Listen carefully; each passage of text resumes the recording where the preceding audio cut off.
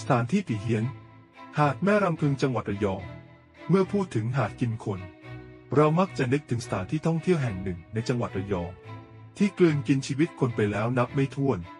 นั่นก็คือหาดแม่รำพึง ที่เรื่องลือเรื่องราวอาถรรพ์สุดสยอง จนทำให้ใครหลายคนไม่กล้ากลับไปเหยียบที่นั่นอีก ซึ่งความเฮี้ยนของหาดแม่รำพึงคือความงดงามของท้องทะเล ที่ดึงดูดนักท่องเที่ยวมาจบชีวิตลงที่หาดแห่งนี้อย่างน่าพิศวง ที่นี่มีตำนานเล่าต่อๆกันมาว่า หญิงสาวชาวบ้านโดดน้ำฆ่าตัวตายที่ทะเลแห่งนี้ เนื่องจากผิดหวังในความรัก จึงกลายเป็นที่มาของหาดแม่รำพึง แต่ไม่ว่าตำนานจะเล่าขานมาอย่างไร ที่นี่ก็ยังคงความอาถรรพ์ให้คนได้พูดถึงกันอยู่ไม่ขาด ในทุกๆ ปีมักจะมีข่าวคนเสียชีวิตไม่ต่ำกว่า 2-3ถึง3ศพชาวบ้านแถวนั้นมีความเชื่อว่าผู้ผีต้องการเอาวิญญาณดวงใหม่ เป็นตัวตายตัวแทนเพื่อให้ตนเองได้ไปผุดไปเกิด ไม่ว่าจะเป็นเด็กหรือผู้ใหญ่ ชายหรือหญิง ก็ล้วนแต่ถูกสังเวยชีวิตไปอย่างลึกลับ แม้จะมีมาตรการป้องกันอุบัติเหตุ ซึ่งเจ้าหน้าที่ได้ติดป้ายเตือนภัยสำหรับนักท่องเที่ยว เรื่องการลงเล่นน้ำไว้บริเวณชายหาด แต่ถึงอย่างไรก็ยังมีผู้ฝ่าฝืนคำแนะนำของเจ้าหน้าที่ จนต้องจบชีวิตลงในที่สุด หากมองในแง่มุมของภูมิศาสตร์ นักวิชาการจะพูดเป็นเสียงเดียวกันว่า ในช่วงมรสุมนั้น ทรายใต้น้ำจะมีลักษณะเป็นสันทรายเล็กๆ ซึ่งเป็นตัวขวางการไหลกลับของคลื่นทำให้คลื่นไหลไปรวมกันเพื่อหาจุดไหลกลับได้ง่ายที่สุด หรือที่เรียกว่า rip current จุดดังกล่าวเมื่อถูกน้ำซ้อบ่อยๆ ก็จะเกิดเป็นล่องน้ำที่ลึกกว่าพื้นปกติจนเป็นแอ่งกระทะหรือกับดักมรณะ ที่ดูดกลืนร่างคนจนนับไม่หวาดไม่ไหว แต่ในความคิดของคนพื้นที่กลับไม่คิดอย่างที่นักวิชาการบอก เพราะเหตุการณ์ต่างๆ ที่เกิดขึ้นทำให้พวกเขาเชื่อว่า นั่นเป็นอำนาจของสิ่งลี้ลับที่ดนบันดาลให้เกิดขึ้น จากปากคำของนักท่องเที่ยวที่เคยพบเจอเหตุการณ์ประหลาดทั้งๆที่ช่วงนั้น ไม่ใช่หน้ามรสุมได้เล่าว่า ขณะที่เขากำลังเล่นน้ำอย่างสนุก ไม่ทันไรตัวเขาก็สุดลงไปยังหุบเหวใต้น้ำลักษณะเหมือนมีมือมาพันขาแล้วจับลากลงไป แต่ด้วยความมิสติกและมีคนมาช่วยเหลือได้ทันท่วงที จึงสามารถเอาชีวิตรอดมาได้ ถึงแม้ว่าบางศพจะเป็นผู้ตายที่ว่ายน้ำเก่ง หรือเป็นถึงขั้นนักกีฬาว่ายน้ำ ก็ยังเคยจมดิ่งหายไปจนนำมา ซึ่งโศกนาฏกรรม เหตุการณ์เลวร้ายเกิดขึ้นซ้ำแล้วซ้ำเล่า พบว่าโดยส่วนมากเป็นเด็กและวัยรุ่นทำให้นักท่องเที่ยวเริ่มหวาดกลัวในความอาถรรพ์ว่าจะเกิดขึ้นกับตน บางคนอยากไปชมความงามของชายหาดแห่งนี้ แต่ไม่กล้าลงเล่นน้ำเพราะกลัวจะกลายเป็นศพเหมือนหลายๆรายที่เป็นข่าว แม้ว่าหลายเรื่องราวจะเป็นอุทาหรณ์ให้ระวังตัว แต่สำหรับคนที่ไม่เชื่อในคำเตือน ก็ไม่สามารถเอาชีวิตรอดมาได้อีกเช่นเคย ในครั้งที่มีนักท่องเที่ยวสาวถูกคลื่นทะเลดูดร่างจมน้ำเสียชีวิต ก็สร้างความอนาจใจให้ญาติพี่น้องไม่น้อย หลังจากนั้นเพียงไม่กี่วัน มีนักเรียนจากโรงเรียนแห่งหนึ่งเดินทางไปฉลองจบชั้นม .6 ก็ถูกคลื่นซัดจมหายไปต่อหน้าต่อตาเพื่อนที่มาด้วยกัน ซึ่งดูเหมือนว่าคำเตือนจากปากชาวบ้านหรือป้ายเตือนของเจ้าหน้าที่ยังไม่เป็นผลเท่าที่ควร ชายคนหนึ่งเล่าว่าเคยเจอรุ่นน้องผู้หญิงที่เข้าที่หาดแม่รำพึง ซึ่งเขาก็ปักใจเชื่อว่าไม่ใช่การแสดงอย่างแน่นอน เพราะแววตาของรุ่นน้องคนนั้นดูแข็งกร้าว และเปลี่ยนไปอย่างเห็นได้ชัด ไม่ทันไรน้องเขาก็หยุดนิ่ง เอามือกุมหัวแล้วกรีดร้องโหยหวนออกมา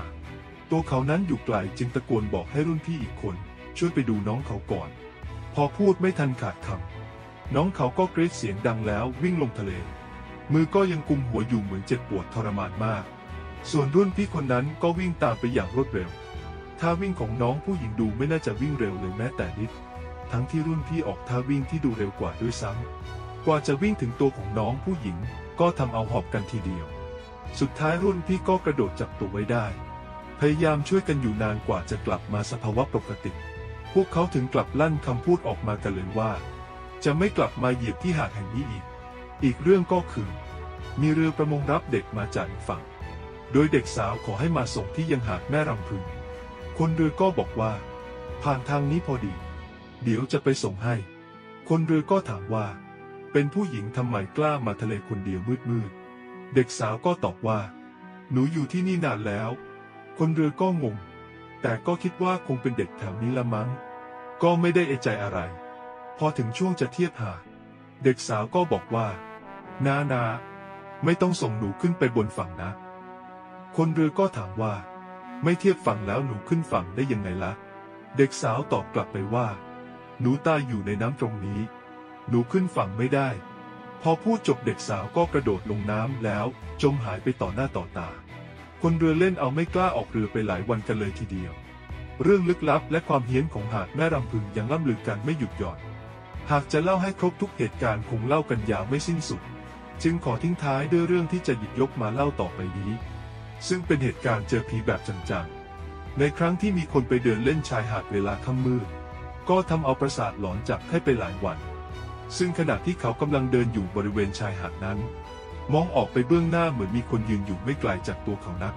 เมื่อเดินเข้าไปใกล้ๆ เห็นหน้าตาดูดำคล้ำ ผมเผ่ารงรางก็นึกหวาดกลัวอยู่ในใจ พอสบตาเท่านั้นแหละ เห็นในตาแดงจ้าเป็นประกายราวกับไฟลุกโชนเพ่งเล็งมาที่ตัวเขา พอรู้ตัวก็วิ่งหนีเตลิดเปิดเปิงแทบไม่ทันกันเลย บางคนที่ไม่มีความเชื่อเรื่องปีศาจก็จะหาเหตุผลต่างๆ นานามาอ้างอิง ประกอบเหตุการณ์ที่เกิดขึ้น เพื่อไม่ให้ผู้คนงมงาย